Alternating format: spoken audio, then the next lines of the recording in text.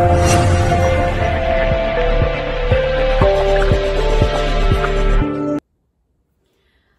friends, this is Karen. Okay, color cosmetics are predicted to make a comeback upon a successful vaccine rollout.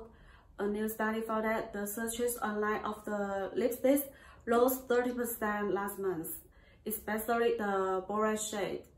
I think there are no other packaging more suitable for the bold shade than clear tubes.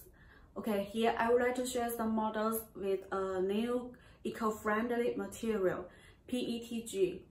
Why? Firstly, PETG has the good transparency and uh, density as the glass, good glass, chemical corrosion uh, resistance and impact resistance, not easily to break in line with the FDA standards.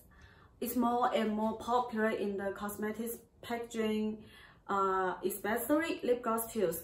You can see the clear tubes behind me. Yes, there. These all are the lip gloss tubes.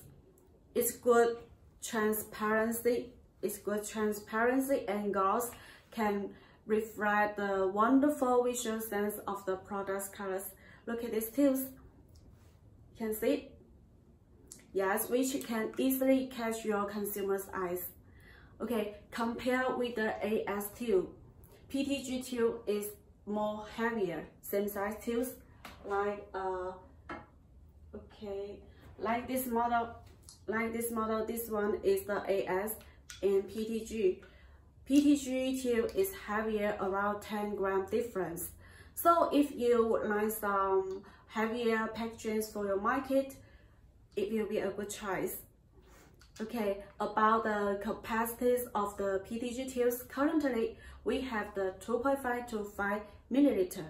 5 milliliter is more welcome by the market, uh, but there are also some customers who would like the smaller size for special collection or market test. If you like them both, um, okay, I can prepare some samples for you to do the market test or formula test firstly. Don't worry. Okay, last but not least, can then be colored completely no problem there. Uh, the PETG packaging also can be with the finish like other packagings, like the metal finish, uh, matte finish, and shiny. Yes, shiny. Uh, but usually we just keep its original feature. Just keep it clear. As you know, uh, its biggest feature is the high transparency.